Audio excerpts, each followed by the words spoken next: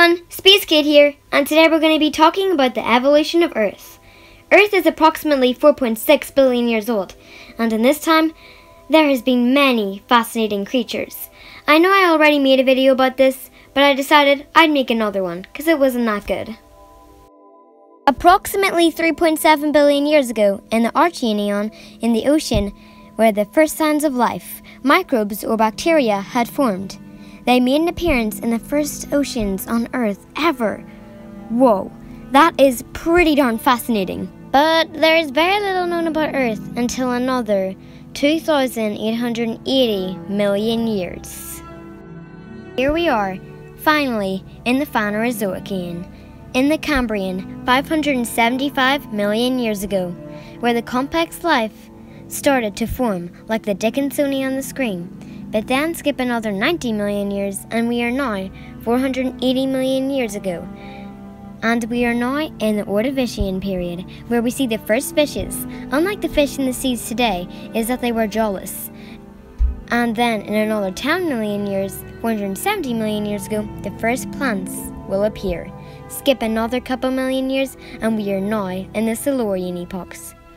425 million years ago, where we see the first land animals to ever walk the earth, like giant spiders such as Megarachne and millipedes. It takes longer still for the first backboned creatures to crawl into land, but 350 million years ago, fish took a chance to walk on land, and later evolved into amphibians. When these animals had arrived to the land, beast ecosystems were already diverse and brimming with plants and invertebrates they were eligible to live in. But now we shall move on to the Permian, the last epoch in the Paleozoic era, where we see early diapsids like Edaphosaurus, Dimetrodon, and other pelycosaurs, and of course, the mighty Gorgonopsids. But Sadly, there is a great extinction awaiting us like no other. The Great Permian Extinction, the worst extinction in history, even worse than the dinosaur extinction. Now we move on to my favourite era, the Mesozoic era, era of dinosaurs. We see some of the earliest dinosaurs, like Plateosaurus and Coelophysis, thriving and living. We also see some dicynodonts, like Placerias, and the cute dictodonts, and huge crocodile-like creatures such as Postosuchus. Skip back another couple million years and we are now in the Jurassic, where we see huge sauropod dinosaurs such as Brachiosaurus and Diplodocus. And of course the apex predator of the Jurassic, Allosaurus. And the tiny Ornitholestes. Here we see the first armored dinosaurs like Stegosaurus and Kentrosaurus that will soon later evolve into ankylosaurs. Now, let's skip forward another couple million years, and we are now in the early Cretaceous. Probably my favorite and most interesting year of the dinosaurs.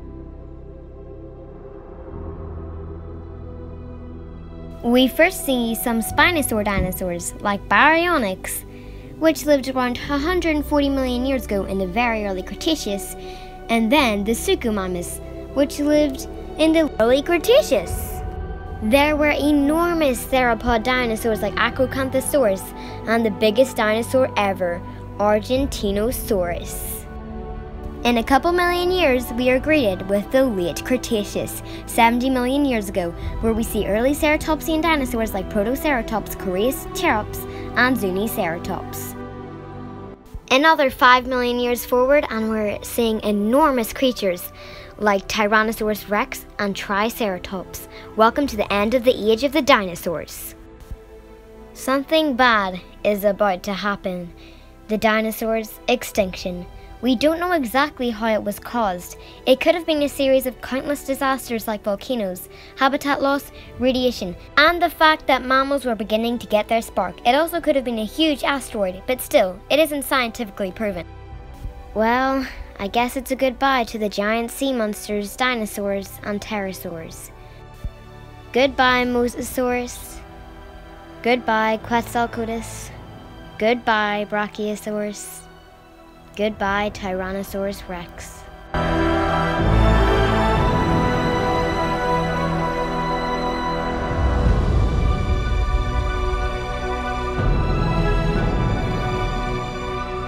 But this, my friends, is not the end. Not even close. Let's go to the Cenozoic, 50 million years ago. We are now in the Cenozoic. It took a while for the Earth to heal itself. So let's go skip to the Eocene. Alright, here in the Cenozoic we see one of the earliest Cenozoic animals, the Leptictidium, taking care of its offspring. And you also see one of the earliest ancestors of whales, Ambulocetus, that, to be completely honest, looked a lot more like a crocodile. Now we're going to be moving on to the Oligocene, 33.9 to 23 million years ago, where wheels are beginning to look a lot more like wheels. Here we see a Basilosaurus, a more evolved version of an Ambulocetus. It evolved a lot over those 15 million years, and now it looks a lot more like a wheel. Here we see huge, dog sheep like creatures that may look like dogs, but it's actually an ancestor of a sheep given by its hooves. In a couple million years, we are now in the Miocene epoch, 20 to 5 million years ago, where we see the biggest rhino to ever walk this planet, the Paraceratherium. By the end of the Miocene epoch, almost all of the modern groups of whales had appeared. And then after that, we are in the Pliocene epoch, 5.3 to 1.8 million years ago, where we see huge, giant ground sloths and whoa, glyptodonts that were giant armadillos, and also the American mastodon, woolly rhinos, saber-toothed cats, and the short-faced bear. And in the late Pliocene, we see one of the very first humans to walk the earth, the Australopithecus. Then after this is the Pleistocene epoch, 1.8 to 10,000 years ago, the age of the Ice Age, one of my favorites. Animals in this era look fairly similar to the ones today. There were cave lions, woolly mammoths, modern horses, and procoptodons American cheetahs, and giant terror birds. Many of the Pliocene creatures also lived in the Pleistocene, like giant ground sloths. Now we're moving on to the last epoch, the end of the Ice Age.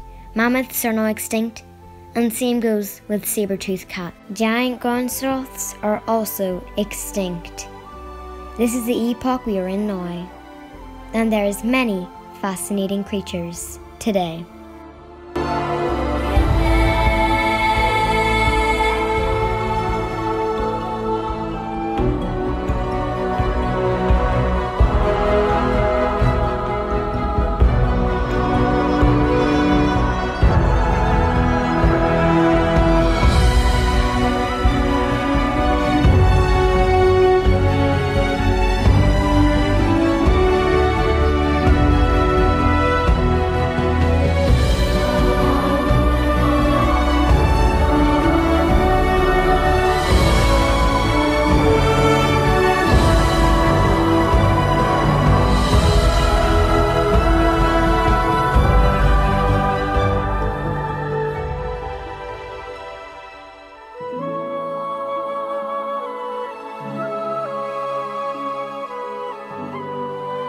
Thank you so much for watching this video. I hope this made you understand how the Earth is an amazing and old yet fascinating place.